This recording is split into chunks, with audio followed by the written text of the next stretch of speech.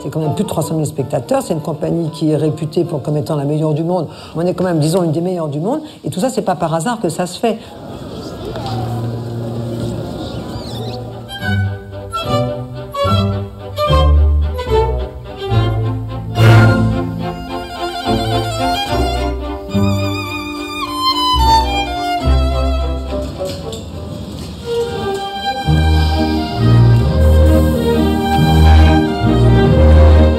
Travail qui doit souder parce qu'il ne s'agit pas de ne pas être d'accord les uns avec les autres. Il faut être réunis autour de l'œuvre.